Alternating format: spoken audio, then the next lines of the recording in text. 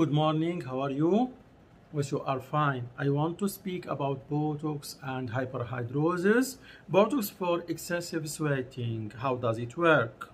Sweating is normal. In fact, it's essential humans need to uh, sweat in order to regulate body temperature. Hyperhidrosis, more commonly known as excessive sweating, can significantly affect a person's quality of life. In some cases, problematic sweating is limited uh, to one area of the body, uh, such as the underarms or feet, a condition called focal hyperhidrosis. Other cases are more generalized with sweating over large areas of the body. Uh, the most common areas affected by hyperhidrosis are the scalp, underarms, hands, feet, and groin area. Excessive sweating can significantly affect a person's life. Uh, it can be embarrassing and socially isolating, and many people find the condition quite upsetting. Botox, often associated with cosmetic wrinkle reduction, is also a, a particularly effective treatment uh, for focal hyperhidrosis. Botox uh, injections use botulinum toxin to block the nerve uh, signals responsible for sweating, stopping the sweat glands from producing too much sweat.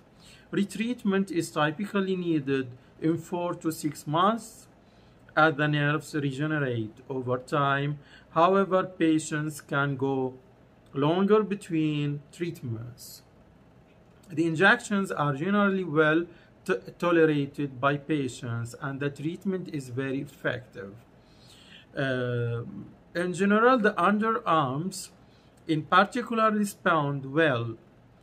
Uh, sweat glands on the hands and feet also respond well to Botox injections, but patients tend to find the injections themselves more painful on the hands and the feet because there are more nerve endings there.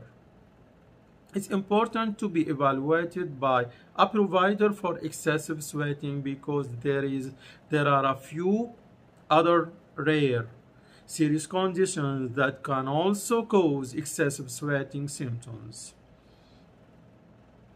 Botox injections are most successful when hyperhidrosis is confined to one area of the body. Uh, experts don't recommend Botox treatments for women who are pregnant or breastfeeding or for people with a history of neuromuscular disorders. Because Botox can result in muscle weakness in the hands, uh, derm uh, dermatologists uh, uh and other like uh, of course the plastic surgeons will take uh, will talk with people to assess their career and lifestyle needs and determine whether Botox is the best option.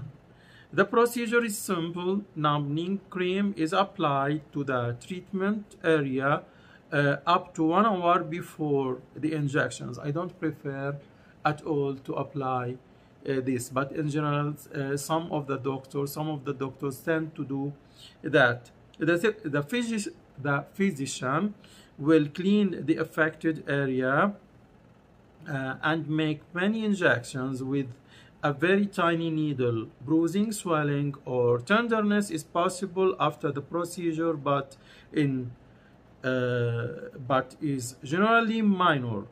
Uh, patients typically start seeing results in five days with full results after two to three weeks. Botox has been a revolutionary revolutionary treatment for hyperhidrosis. It has helped improve the quality of life for many patients.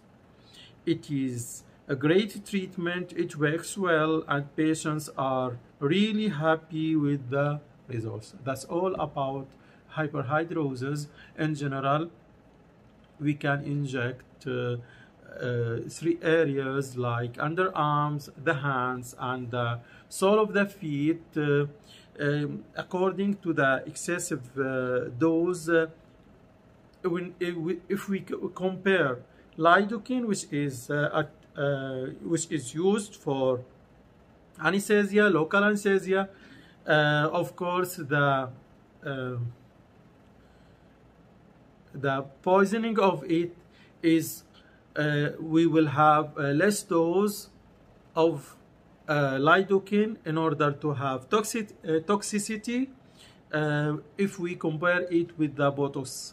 That's all about uh, hyperhidrosis. If you like the video, please go under down under the video. Please subscribe to my YouTube channel, make like, share. That's all.